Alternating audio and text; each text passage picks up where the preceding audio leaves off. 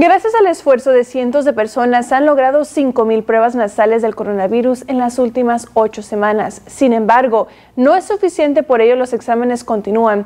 Afortunadamente, siguen abriéndose centros de pruebas. Si usted busca más información o quisiera hacer una cita, puede acudir a la página web que ve en pantalla. Los residentes de Guthrie no están siendo obligados a utilizar equipo de protección.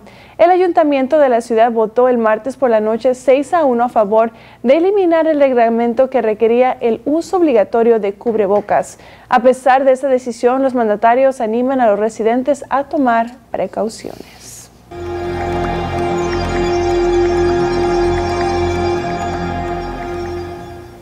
Gobernador del estado está buscando indicadores para continuar con la fase 2 de reapertura del estado. En caso de que no aumenten los contagios de una manera repentina, el estado entrará a la segunda fase el próximo 15 de mayo.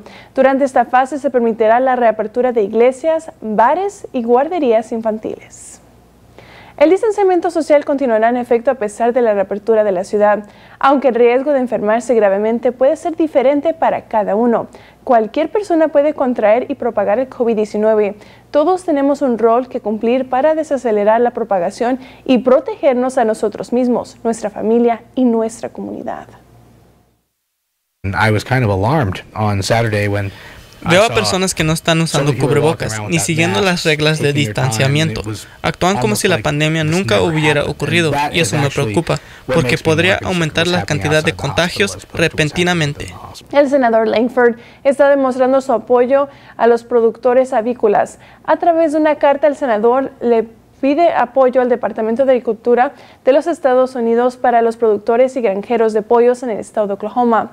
Ellos requieren de este apoyo ya que debido al contagio del COVID-19 su fuerza laboral ha disminuido, obligándolos a reducir su producción e inclusive cerrar algunas plantas productoras.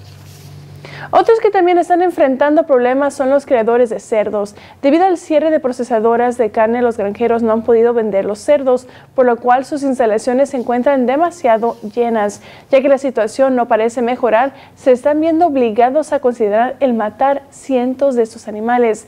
Esta respuesta podría significar una reducción de estos productos en los mercados locales.